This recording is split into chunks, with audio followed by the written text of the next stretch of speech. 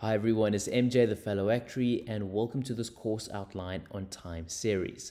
So in this course, we're going to have a video that is going to be a soft introduction to the topic. We're going to be looking at, you know, what exactly is a time series? How does it relate to stock prices and all these other things? We're then going to look at some statistical properties, most notably the stationary and Markov one.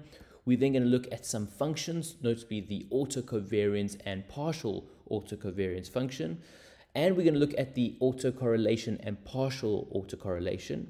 Then there's a video on the common types of time series. You've got white noise, alternating. We look at ones that have trends, ones that, ones that have seasonality. We then get to the heart of the course, which are your ARIMA time series. Here we've got the autoregressive and the moving average. Autoregressive where the AR comes from, moving average is where the MA, and then the I is for when we integrate non-stationary time series in order to make them stationary. The reason why we want to do that is that we can go into the next video where we will then fit time series to our data.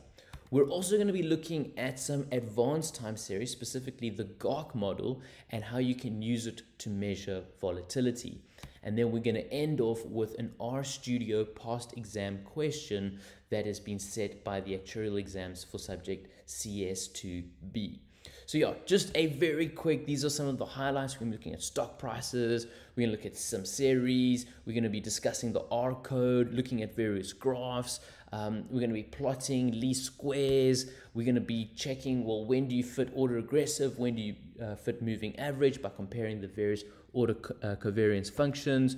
Like I said, we're going to be fitting models. We're then going to be seeing, well, was this a good fit by checking out certain diagnostic tests. Um, then there's the whole thing, like I said, on measuring volatility. And then there is the big giant exam question. It's worth 40 marks. So we're going to be going through all of that. So very quickly, this is what the course is all about. I hope you guys are amped for it uh, because, yeah, I can't wait to teach it to you. So join the course and um, I'll see you guys in the next video where we start discussing time series. Thanks. Cheers.